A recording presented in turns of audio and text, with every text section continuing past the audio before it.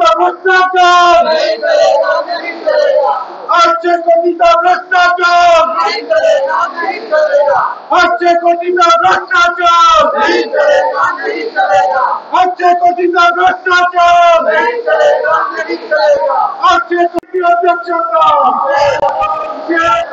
आठशे कोटीचा भ्रष्टाचार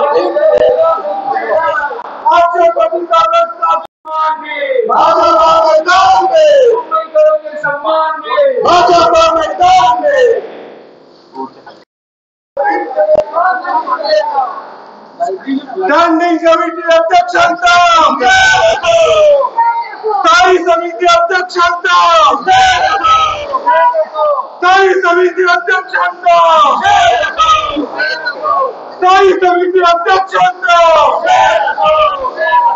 स्थायी समिती अध्यक्षांचा आठशे कोटीचा भ्रष्टाचार नहीं करेगा नहीं करेगा आठशे कोटीचा भ्रष्टाचार नहीं करेगा नहीं करेगा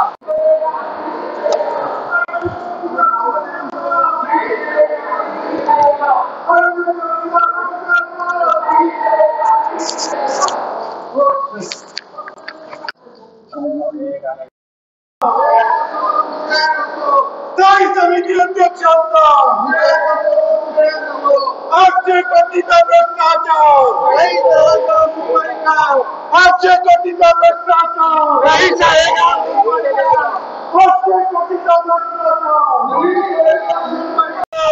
आठशे कोटीचा भ्रष्टाचार स्थायी समिती अध्यक्षांचा स्थायी समिती समिती अध्यक्षांचा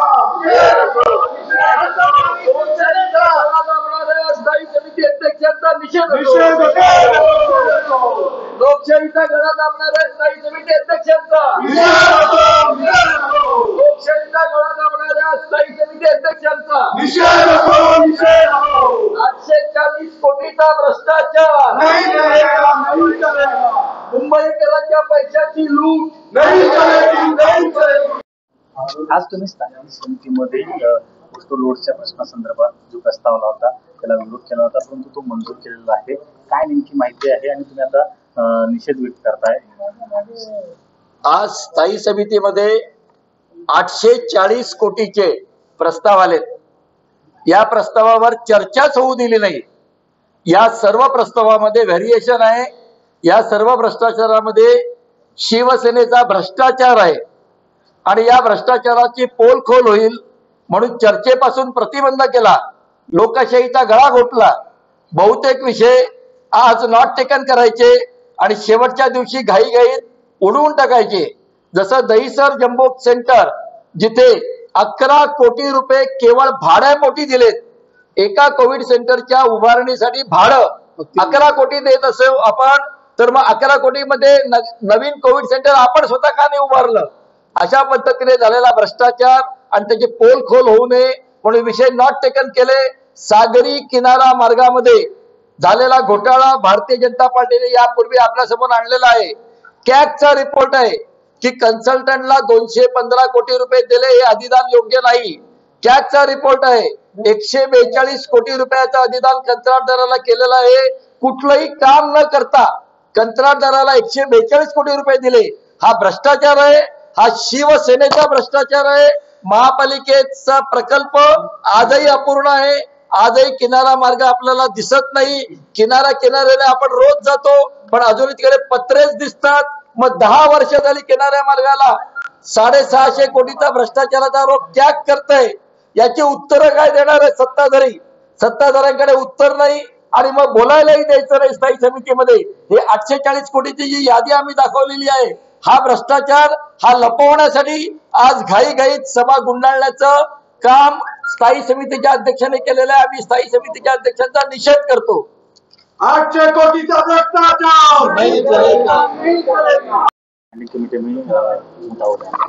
आज स्टैंडिंग कमेटी में करीब 840 करोड़ का भ्रष्टाचार का प्रस्ताव सत्ताधारी शिवसेना और प्रशासन ने लेकर के आए तो उसके बारे में डिटेल्स जानकारी भारतीय जनता पार्टी के सभी सदस्यों ने मांगा, लेकिन अध्यक्ष महोदय ने खड़े होने के बाद भी, नाम बुलाने के बाद भी अध्यक्ष महोदय ने बोलने नहीं दिया।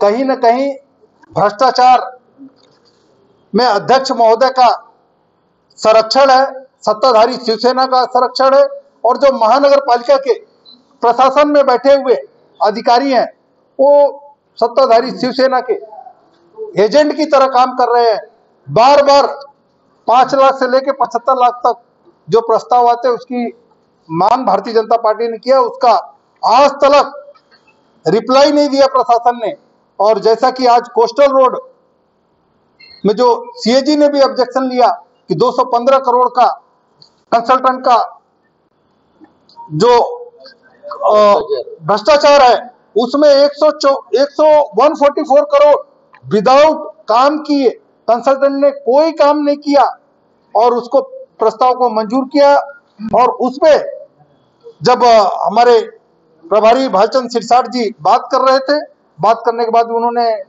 प्रस्ताव दिया, सूचना दिया उसको रिकॉर्ड करना चाहिए। समर्थन के लिए मैं जब खड़ा हुआ बोलने के लिए अध्यक्ष महोदय ने नाम मेरा बुलाया बोलने के लिए, लेकिन उन्होंने बोलने नहीं दिया। हम लोगों ने विरोध किया बेगर काम किए कंसल्टेंट काम करता नहीं है और 144 करोड़ का पेमेंट होता है तो किसके सर पे हो रहा है? किसके किसके घर में वो पैसा गया है? हर पैसे का, जिसके घर में उसका हिसाब सत्ताधारी शिवसेना और प्रशासन में जो बैठे हुए एजेंट के रूप में अधिकारी यहाँ पर काम कर रहे हैं, सबको देना पड़ेगा और भारतीय जनता पार्टी चुप नहीं बैठेगी, ये आवाज़ उठाती रहेगी। शिवसेना